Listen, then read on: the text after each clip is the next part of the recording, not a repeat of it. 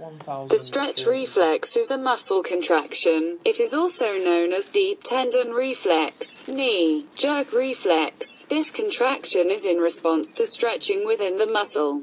It is a reflex which provides regulation of skeletal muscle length. During the contraction, a muscle sometimes lengthens, the muscle spindle is stretched and its nerve activity increases. When a muscle spindle is stretched, an impulse is immediately sent to the spinal cord and a response to contract the muscle is received. Stretch reflex is important in posture.